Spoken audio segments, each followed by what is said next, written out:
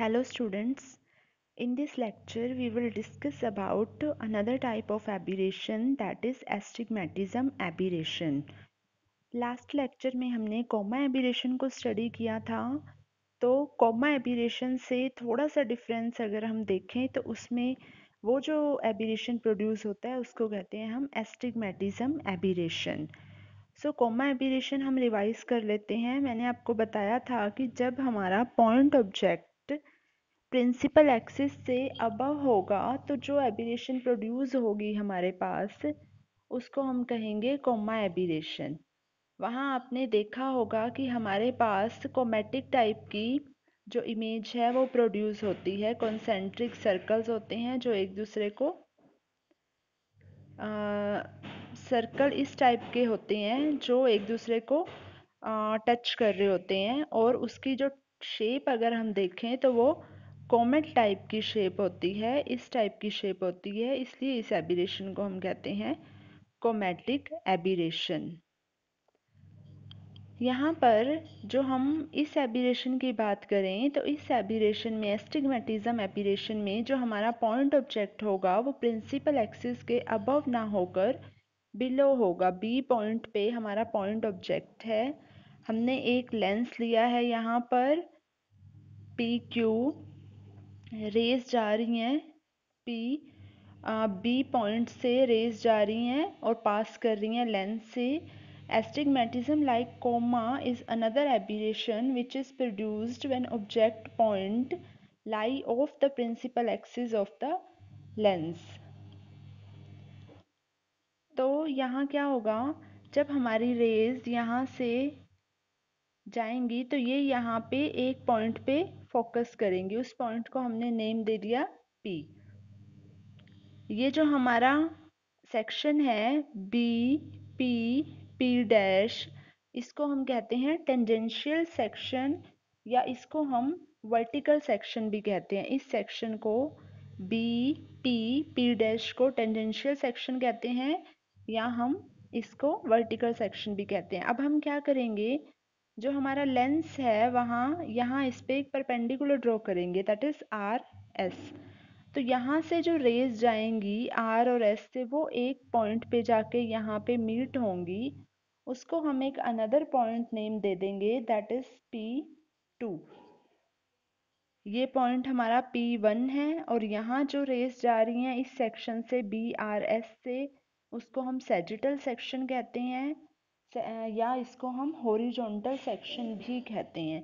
तो एक हमारे पास जो इमेज है वो पी वन पे फॉर्म होगी, इसको हम प्राइमरी इमेज कहेंगे और जो पी टू पे फॉर्म होगी, इस सेक्शन की वजह से बी आर एस की वजह से इसको हम कहेंगे सेकेंडरी इमेज अब अगर हम ये जो हमारे पास दो पॉइंट आए हैं P one and P two अगर हम यहाँ पे पी वन और पी टू के बीच में स्क्रीन रखें स्टार्टिंग में अगर मान लो हमने स्क्रीन पी वन के पास रखी तो हमारे पास जो इमेज हमें दिखाई देगी वो इस टाइप की दिखाई देगी, एक हॉरिजॉन्टल लाइन जैसे जैसे हम डिस्टेंस बढ़ाते जाएँगे तो हमारे पास इमेज का साइज़ चेंज होता जाएगा। P1 से थोड़ा दूर करेंगे हम अपनी स्क्रीन को तो जो हमारे पास इमेज हमें दिखाई देगी वो इस टाइप की दिखाई देगी।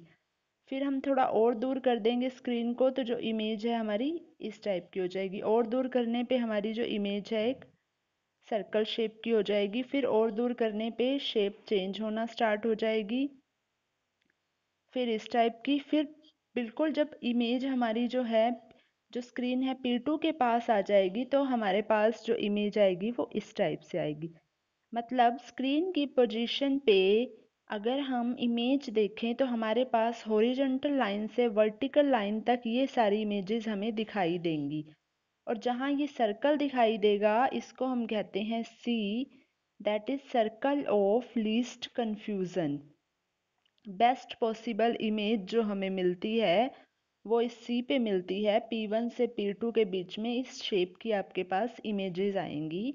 और जो सी पर आपको मिलेगी, वो बेस्ट पॉसिबल इमेज होगी किसी भी ऑब्जेक्ट की ऑब्जेक्ट बी की। तो अब यहाँ, अब हम अगर देखें प्राइमरी इमेज सरफेस क्या होता है और सेकेंडरी इमेज सरफेस क्या होता है तो जो हमारी प्राइमरी इमेजेस हैं locus of primary images of these points is the surface of revolution about the lens axis is called primary surface तो प्राइमरी सरफेस जहाँ पर हमारी प्राइमरी इमेजेस बन रही हैं, उन सबका जो लोकस होगा एक सरफेस पे लेंस एक्सिस पे, उसको हम प्राइमरी इमेज सरफेस कहेंगे। ऐसे ही सेकेंडरी इमेज का जो लोकस होगा, उसको हम सेकेंडरी इमेज सरफेस कहेंगे। और the locus of circle of least confusion is the circle surface of best focus और जो लोकस होगा सर्कल ऑफ़ लिस्ट कंफ्यूजन का वो हमारा बेस्ट फोकस होगा। सरफेस उसको हम कहेंगे सरफेस ऑफ़ बेस्ट फोकस तो अगर हम इस फिगर में देखें, हमारे पास ये हमने कोई एक्सटेंडेड ऑब्जेक्ट ले लिया जो पॉइंट से मिलकर बना हुआ है, ये हमारे पास एक लेंस है। और ये जो हमारा कर्व्ड सरफेस है फ़र्स्ट वाला एस वन है सेकंड वाला एस टू है और सेंटर वाला एस है। तो ये जो एस सरफेस है, ये जो फ़र्स्ट सरफेस है एस वन इसको हम कहते हैं प्राइमरी इमेज सरफेस और ये जो सेकंड सरफेस है, इसको हम कहते हैं सेकेंडरी इमेज सरफेस और ये जो इनको टच कर रहा है सेंटर पे एस ये है हमारा सरफेस ऑफ़ बेस्ट फोकस तो अब अगर मैं एबिरेशन बताऊँ एस्टिग्मेटिज्म होता क्या है? The failure of primary and secondary image surface to coincide is called astigmatism जब ये S1 और S2 सरफेस एक दूसरे पे कोइंसाइड नहीं करते तो उसको हम कहते हैं एस्टिग्मेटिज्म और इसको हम पॉजिटिव कब लेंगे? If the primary image surface is to the left of secondary image surface primary image surface left पे हो सेकेंडरी इमेज सरफेस के तो उसको हम कहेंगे positive and otherwise it is negative तो ये है एस्टिगमेटिज्म जैसा हमने कोमा पढ़ा था सेम एज इट इज़ है, बस वहाँ पर हम जो ऑब्जेक्ट लेते हैं, वो प्रिंसिपल एक्सिस से ऊपर लेते हैं। प्रिंसिपल एक्सिस है, यहाँ लेंगे। इस वजह से जो इफ़ेक्ट प्रोड्यूस होगा, ये हमें सर्कल मिलेंगे। कोमेट के शेप की, हमारी इमेज की शेप आएगी। और जो अगर हम बात करें एस्टिगमेटिज्म की तो वहाँ पर हम प्रिंसिपल एक्सिस से नीचे पॉइंट ऑब्जेक्ट लेंगे। So this is all about astigmatism next is curvature of field इसमें क्या होगा, अगर हम एक लेंस लें,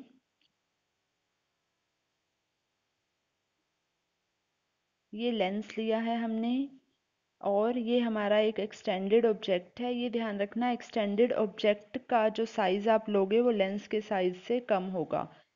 मैंने आपको पैरेक्सियल रेज और मार्जिनल रेज बताई थी। ये हमारी प्रिंसिपल एक्सिस है। जो प्रिंसिपल एक्सिस के पास वाली रेज होती हैं, उनको हम कहते हैं पैरेक्सियल रेज और जो इससे दूर होंगी, उनको हम कहेंगे मार्जिनल रेज तो क्या है The image of an extended plane object formed by a single lens is not plane.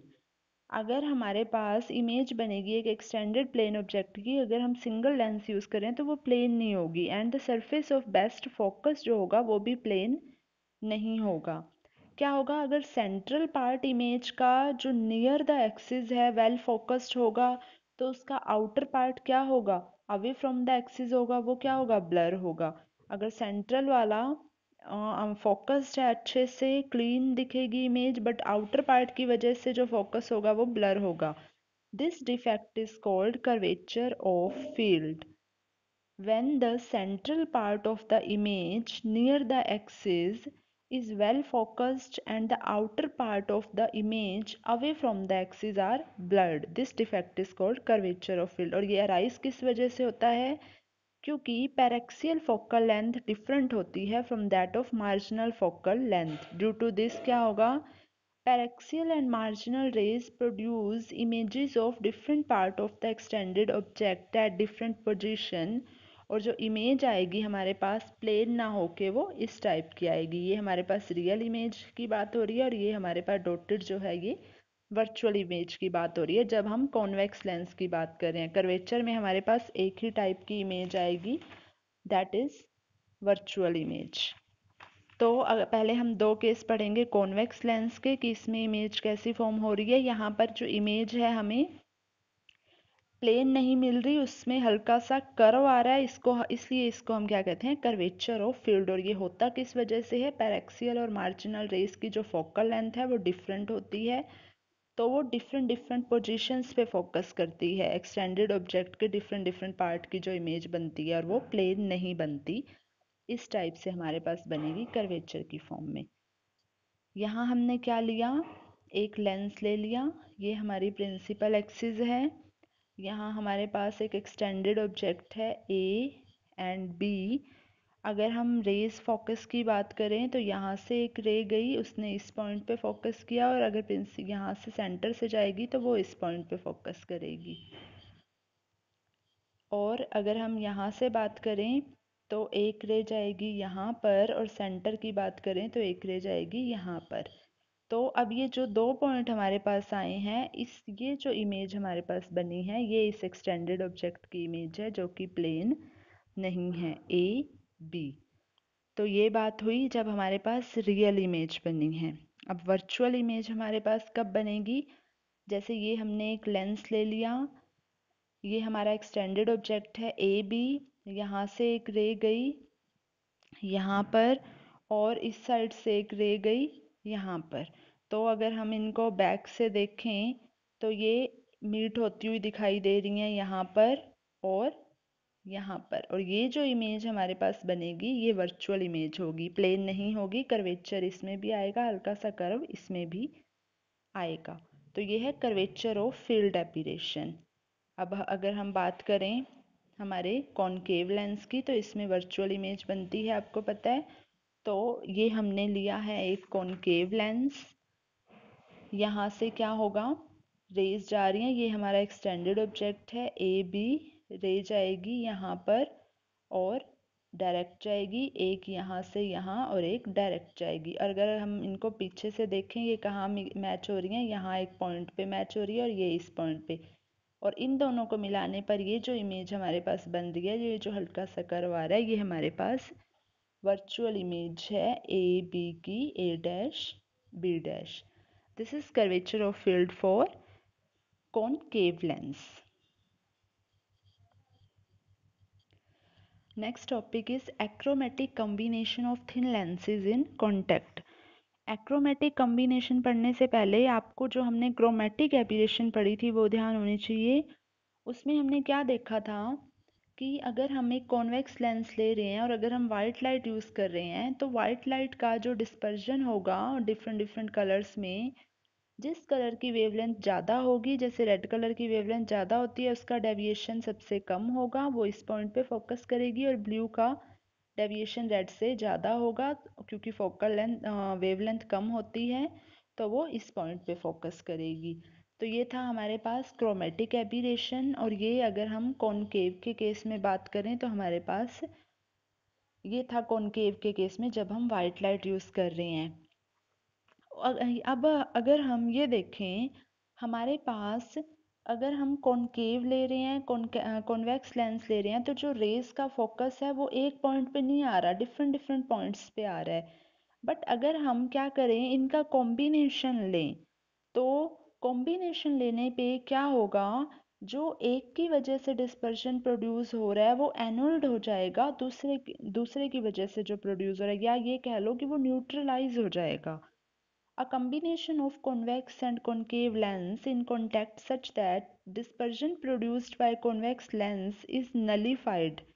क्या हो जाएगा ये बिल्कुल ख़त्म हो जाएगा by the dispersion produced by concave lens so that image is free from chromatic aberration and this is called achromatic combination of thin lenses.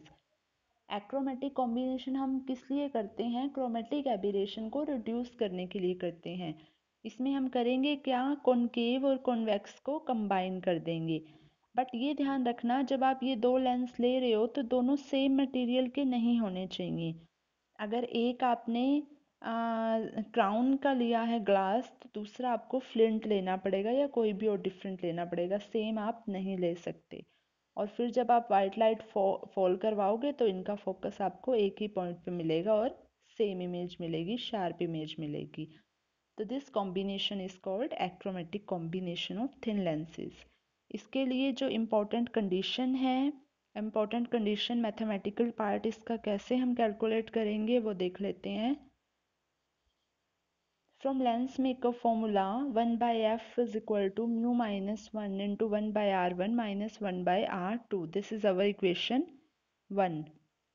अगर इस इक्वेशन को हम डिफ्रेंशिएट करें तो हमारे पास क्या आ जाएगा? Minus D F by F square is equal to D mu into one by R one minus one by R two. This is our second equation अब हम क्या करेंगे? म्यू माइनस वन से मल्टीप्लाई और म्यू माइनस वन से divide कर देंगे।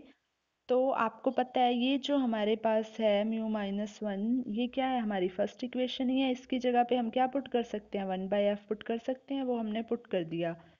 और ये जो D mu by mu minus one है, ये क्या होता है? डिस्पर्सिव पावर होता है लेंस की। D mu upon mu minus one इसको हम ओमेगा पुट कर सकते हैं। तो फोर्थ इक्वेशन क्या होगी? Dispersive power of material of lens put करने के बाद हमारे पास फोर्थ इक्वेशन है minus D F by F square is equal to omega by F अगर हम एफ़ और एफ़ डैश फोकल लेंथ लें of the two lenses in combination और कैपिटल एफ़ एफ़ लें इनकी mean focal length of combination then one by F is equal to one by small F plus one by F dash हो जाएगा। और फिर क्या होगा ओमेगा और omega dash are respectively the value of dispersive power of material of two lenses तो हमारे पास अगर हम ये इक्वेशन देखें, इस इक्वेशन को अगर हम डिफ्रेंशिएट करें तो क्या हो जाएगा? Minus D F by F square is equal to minus D F by F square minus D F dash by F dash square ये सिक्स इक्वेशन होगी। अब हम क्या करेंगे? फोर्थ इक्वेशन को सिक्स इक्वेशन में, इस इक्वेशन की वैल्यू को यहाँ, इस इक्वेशन में पुट करने के बाद हमारे पास क्या आ जाएगी? Minus D F by F square is equal to omega by F plus omega dash by F dash this is our seventh equation तो अब हमने क्या करना है? जो हमारे पास एक्रोमेटिक कॉम्बिनेशन होता है, उसके लिए the focal length is same for all colours of light तो D F is equal to क्या हो जाएगा? फोकल लेंथ सेम रहेगी तो सेम मीन्स कांस्टेंट और कांस्टेंट टर्म का डेरिवेटिव क्या हो जाएगा? D F is equal to zero यहाँ पुट कर देंगे डी एफ़ ज़ीरो तो ये आ जाएगी हमारे पास required condition omega by F plus omega dash by F dash this is our required equation जो एक्रोमेटिक कम्बिनेशन के लिए हमें चाहिए So, our next topic of discussion is distortion aberration. ये भी एक टाइप की एबिरेशन है बट अभी तक हमने जो भी एबिरेशंस पढ़ी हैं वो हमने यही पढ़ी हैं कि जो इमेज शार्प नहीं आती क्लियर नहीं आती तो जो एबिरेशन प्रोड्यूस होती हैं, वो अभी तक हमने स्टडी की हैं। बट डिस्टोर्शन एबिरेशन डिफरेंट है उन सबसे। इसमें क्या होता है? जो ऑब्जेक्ट होता है, उसकी जो इमेज हमें दिखाई देती है, वो बिल्कुल अलग होती है साइज़ में शेप में, और जो हमारा ऑब्जेक्ट होता है उससे। दो टाइप के डिस्टोर्शन हम पढ़ेंगे। एक होता है पिन कुशन और एक होता है बैरल शेप जैसे देखिए, ये हमने एक ऑब्जेक्ट लिया है। ये ऑब्जेक्ट लिया है हमने। ये एक वायर मेज टाइप का है, जाली टाइप का ऑब्जेक्ट है और ये हमारा कॉन्वेक्स लेंस है। तो वैसे तो एक्चुअली होना क्या चाहिए था? इसकी जो इमेज है वो इस टाइप से आनी चाहिए थी। बट आती कैसे है? या तो इस टाइप से आती है जिसके आउटर कॉर्नर्स ऐसे बाहर हैं, निकले हुए हैं या इस टाइप से आती है जिसके ये आउटर कॉर्नर्स इनर साइड पे हैं। इसको इस टाइप की इमेज को हम पिन कुशन कहते हैं और इस टाइप की इमेज को हम बैरल शेप डिस्टोर्शन कहते हैं। और ये प्रोड्यूस कैसे होती है? ये प्रोड्यूस होती है the magnification produced by lens for different object point is different जो वेरिएशन uh, होती है मैग्नीफिकेशन की वो अगर हम डिफरेंट डिफरेंट पॉइंट्स पे बात करें तो वो डिफरेंट होती है। अगर हमारे पास ये ऑब्जेक्ट है तो ये जो नीचे वाली लाइन है, इसके लिए मैग्नीफिकेशन अलग होगी, उससे ऊपर के लिए अलग, उसके ऊपर के लिए अलग, उसके ऊपर के लिए अलग होगी। तो उस वजह से हमारी इमेज की जो शेप साइज़ है, उसमें चेंज आ जाता है। फ़र्स्ट हम स्टडी करेंगे pin cushion distortion if magnification produced by lens increase with increase of distance of the object point from the axis. Then outer part of the image field of view are pulled outward. अगर जो magnification है lens की, वो increase हो रही है increase in distance के साथ तो हमारे पास जो इमेज आएगी, वो इस टाइप से आएगी। उसके जो आउटर कॉर्नर्स होंगे आउटर पार्ट होंगे, वो आउटवर्ड्स होंगे। इसको हम क्या कहेंगे? पिन कुशन और बैरल शेप में क्या होगा? इससे opposite if magnification produced by lens decrease with increase in distance यहाँ क्या होएगा? मैग्निफिकेशन डिक्रीज हो रही है, जैसे जैसे डिस्टेंस इंक्रीज हो रहा है।